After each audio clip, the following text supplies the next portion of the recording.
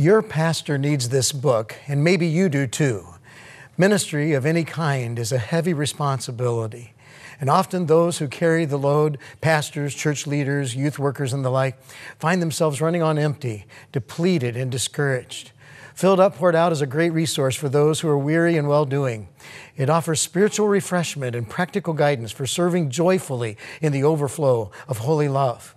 I pray this book will inspire you to seek the replenishing waters of God's Spirit and show you the pathway to revival for your own parched soul.